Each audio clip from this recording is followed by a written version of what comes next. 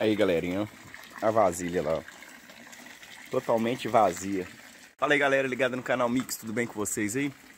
A vasilha para colocar comida de peixe deu certo, sim. Tem dado certo. Eu vou mostrar para vocês ali como é que tá ali. Mas desde já, já deixa o joinha aí, compartilha com os amigos. E muito obrigado aí por todo mundo que está nos assistindo aí. Forte abraço aí pro Giovanni aí do Nova Contagem. E toda a galera do Nova Contagem, da Ribeiro pessoal do Brasil inteiro que está nos assistindo.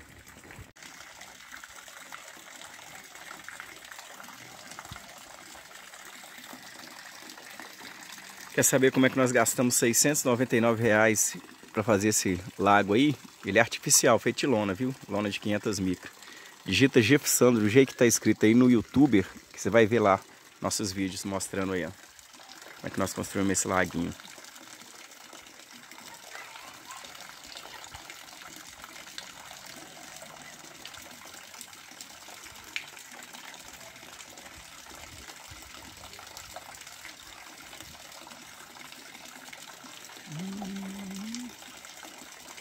A água fica clarinha assim, gente, porque a gente tem um sistema aí com plantas e filtros de brita e areia e tijolos, né?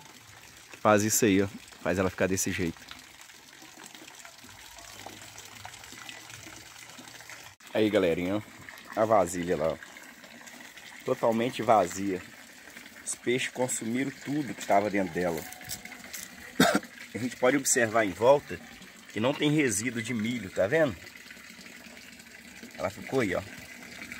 Vazia mesmo. Sem nada. Nós vamos colocar mais milho nela. E o milho marrado aqui, ó. Eles também andaram comendo, ó. Vocês lembram que eu marrei o milho aqui, ó? Marrei nessa haste de metal, ó. Ali pra vocês verem, ó. Tá vendo aí? Aí, ó. Olha os lugarzinhos aí que eles andaram mastigando, ó. Ruendo aí, ó. A gente deixa aqui eles vão roendo esse milho aí pouco a pouco aí, ó. Então dá certo sim, galera. A ração tá muito cara, né? Para todos os lados aí do Brasil, ração tá cara demais. Ração de cachorro, ração de galinha, ração de peixe. Infelizmente tá complicado aí criar animais nesse nosso Brasil. Olha como é que o aguapé tá soltando flor ali. Aí galera, para quem nunca viu aí, ó. Florzinha do aguapé aí. Olha nossos peixinhos lá embaixo, lá, ó. Lambari rosa, tilápia rosada. Muito peixinho no sistema aí,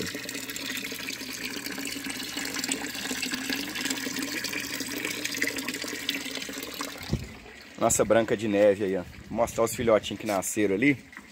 Pra vocês aí, daqui a pouquinho no, no vídeo aí no canal. É um filhote nasceu igualzinho a Branca de Neve. Quem lembra aí, ó, quem é inscrito no canal, Branca de Neve nasceu com essa mancha preta na cauda que ela tem até hoje ali. E as orelhas assim, ó. Uma do lado de cá preta. Só que a Branca de Neve tem uma orelha preta e uma orelha branca. Eu vou mostrar ali pra vocês. Ali que eu tô filmando aqui com a mão só aqui, né? E aqui, ó, do lado de cá como é que é. Muito bonitinho, né? Meu amigo aí, Reginaldo, que trabalha comigo lá na empresa lá, é, pediu esse cachorrinho. Aí, Regia, cachorrinha, né, no caso. Aí a cachorrinha aí.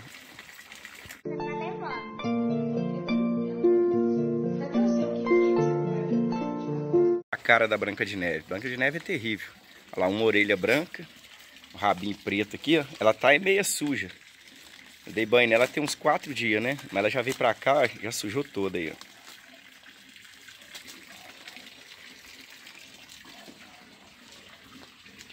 Muita gente que me pergunta se aqui é um sítio. Não, pessoal, aqui não é um sítio. É onde que eu moro com a minha família.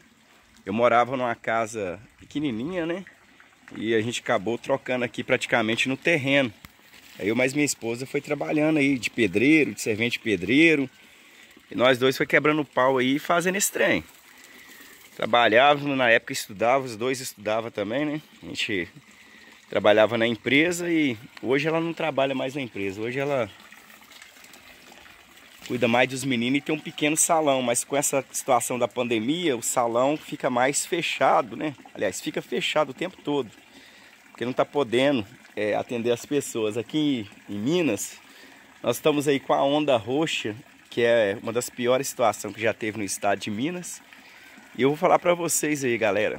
A situação do, desse, dessa doença, né, que tem matado as pessoas, eu nem vou falar o nome não, mas porque tem muita gente que duvida do que que é, né? Mas quando começou, eu lembro que a gente ouvia falar de um caso ou outro.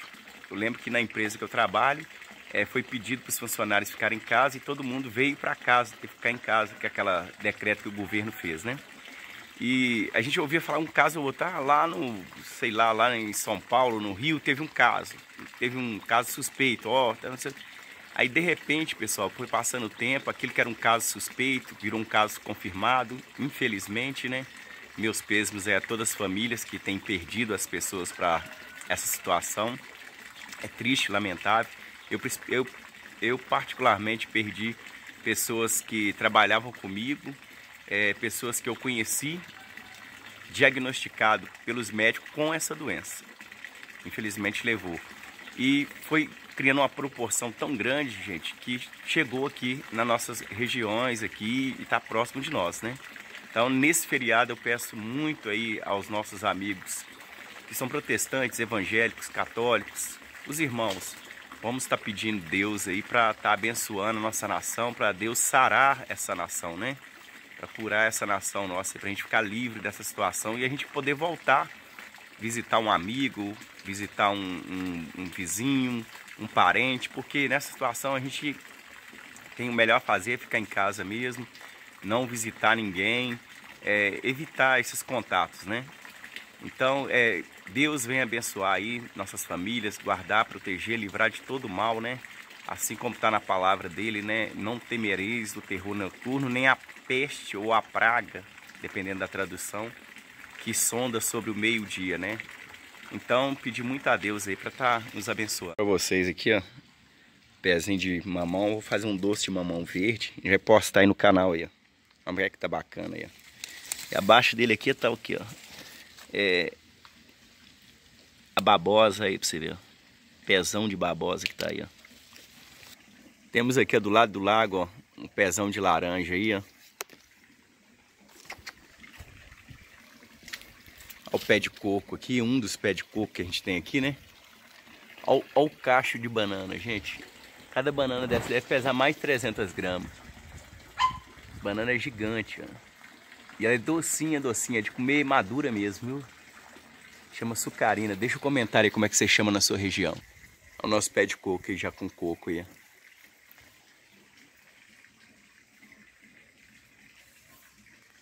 Isso aqui é um laguinho de molinésia ali um filhotinho de molinésia, vários filhotes aí alevinos de molinésia, né? As grandes esconde no meio do mato. A gente fez esse lago aqui, pessoal, ele é sem bombinha para oxigenar, sem sistema de filtragem. O filtro aí é biológico mesmo, a própria areia e esse cascalho que faz esse trabalho. Quem é inscrito no canal lembra aí, ó. Então, pra você ver, serve, funciona como jardim e como lago.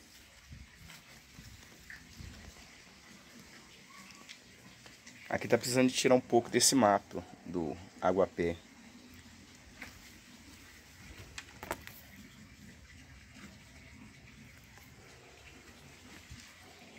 Isso aqui, galerinha, é melão São Caetano.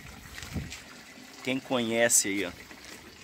Olha como é que ele enlastrou aí no, na beira do lago. Virou um muro verde, ó. Virou uma cerca verde aí, ó.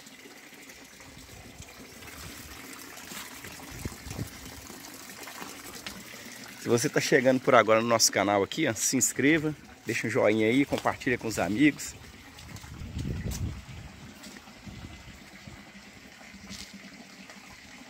Melão São Caetano aqui, ó. Ele virou tipo um, um muro. Um muro verde aí, ó. Olha o tanto que ele lastrou.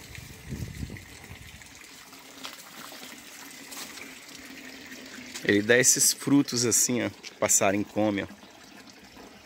Aqui tá pequenininho, tem uns grandão, uns que é bem, como se diz o outro, bitelusco, né? Tô vendo só os pequenos mesmo.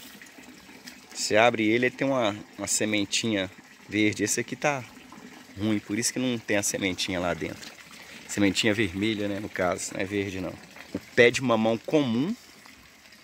Isso aqui, galera, eles chamam de mamão de corda. Olha o que é de flor, tá vendo? Aqui, ó, achei aqui ó, o melão São Caetano. E aqui, ó, ele dá essas, essa sementinha aqui, ó, por dentro, ó. Tá vendo? Quem morava na roça aí, deixa o um comentário que já, já viu aí, ó. E aqui, ó, olha qual a diferença. Uma, uma mão de corda, porque ele dá uma rama para dar uma mão, tá vendo?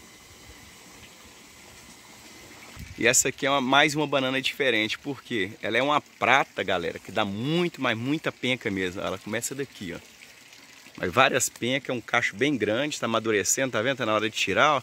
Só que olha a diferença. O pé é ultra, mega, super grosso e pequeno. Porque a minha altura, eu sou um homem baixo, né? Tenho 1,70m. E aqui, ó, onde que tá o cacho, ó eu consigo acessar com 1,70m de altura. Geralmente banana prata, ela dá um pé alto, bem alto mesmo. Esse aí é o pé baixo e bem grosso, como se fosse um caturrão. Como é que é o nome dessa banana aí, dessa banana que parece com prata? E outra, ela começa a amarelar, ela tá docinha e não deixa aquela nódia na boca. E a banana prata, ela quase apodrecendo, ela tá verde ainda, né? Um forte abraço aí também pro Reinaldo BH, que tem conseguido vários e vários inscritos no canal. Direto e reto chega gente lá e falando, ó, oh, sou primo do Reinaldo, sou vizinho do Reinaldo, eu conheci pelo Reinaldo BH, pelo zap do Reinaldo, ele tem feito uma, um ótimo trabalho de, assim, eu não tenho nem como pagar esse cara, é muito obrigado mesmo aí. E ele tem compartilhado, assim como várias, várias pessoas que clicam lá naquela setinha abaixo aí do, do desse rodapé do vídeo e direciona para o WhatsApp, para o Facebook, Instagram, nosso canal aí. Muito obrigado vocês mesmo aí. O canal está começando, a gente está pequenininho, mas Deus tem abençoado cada dia para que atinja mais e mais pessoas. E breve, breve nós vamos estar tá fazendo um vídeo aí da ração caseira, gente. Eu tenho que me organizar aqui para me conseguir os ingredientes para mim estar tá fazendo novamente. O único problema da ração caseira é onde armazenar para secar nesse período chuvoso, às vezes a gente não tem uma varanda, não tem um lugar adequado, não dá, né? Para armazenar esse, esse material. Então é o bom que eu gosto de fazer mesmo é na época da, da, da estiagem, na época do frio, que aí você pode deixar lá de fora, pega sereno e não dá problema nenhum. Beleza? Até o próximo vídeo aí no nosso canal Mix.